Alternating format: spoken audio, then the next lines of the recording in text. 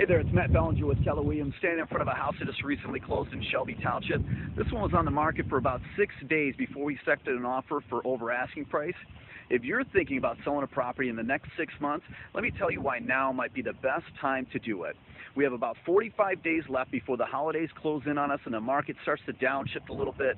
Now, some people might look at this time of the year and think that it's a good time to wait until next spring, but with the inventory ticking up and with us on the heels of one of the most pivotal presidential elections that's almost guaranteed to leave 50% of the population furious, there are more question marks around next spring than ever before.